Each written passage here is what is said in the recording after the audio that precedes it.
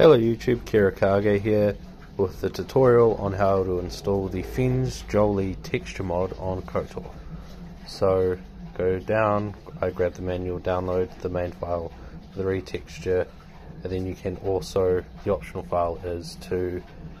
download their iconic colors, which I have not done because I'm kind of interested in seeing what the retextures are anyway go ahead, move on over to the file, which is here, and then go Jolee, then Jolee, and select these all, and move them to destination path override, and replace all as always, and there we go, pop them on, pop that on in there,